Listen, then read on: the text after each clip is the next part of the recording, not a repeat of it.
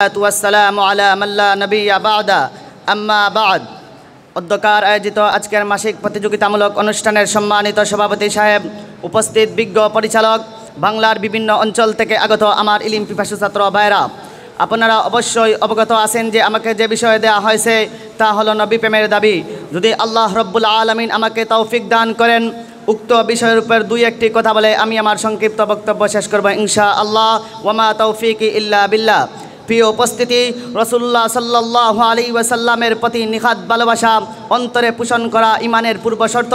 আল্লাহ রব্বুল আলমিনের ভালোবাসা পাওয়ার একটি নির্ভরযোগ্য মাধ্যম। রসুল্লাহ সাল্লাহ আলী ওয়াসাল্লামের সুন্নত আদর্শ বাস্তবায়নই হবে তার মহব্বত ভালোবাসার পরিচায়ক।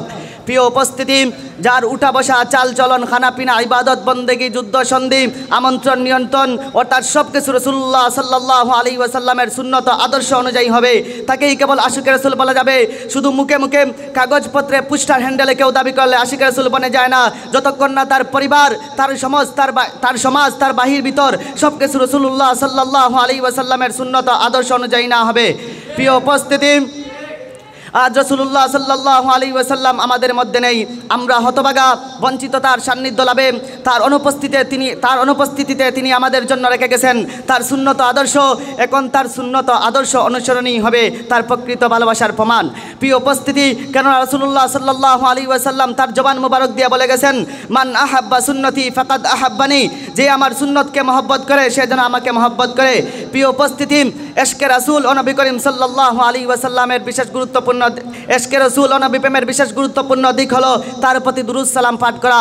তাই বেশি বেশি দুরুসালাম পাঠ করা হলো হলো নবী করিম, হলো নবী প্রেমের দাবি। প্রিয় উপস্থিতি, আজ বড় দুঃখের সঙ্গে বলতে হয়, আমাদের সমাজে দাবিদার আশিক রসুলের অভাব নেই। নবী প্রেমের স্লোগান তুলে আকাশ বাতাস কাঁপিয়ে দেয়। অথচ নবী করিম সাল্লাহ আলী ওয়াসাল্লামের সুন্নত, আদর্শের সাথে কোনো সম্পর্ক নেই।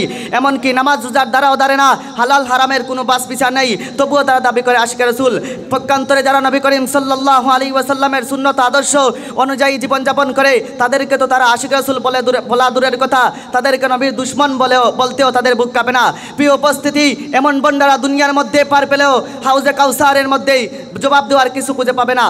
প্রিয় উপস্থিতি, আল্লাহ রব্বুল্লা আলমিন আমাদেরকে নবী করিম সাল্লাহ আলী ওয়াসাল্লামের সুন্নত, আদর্শ বাস্তবায়ন করার তৌফিক দান করুন।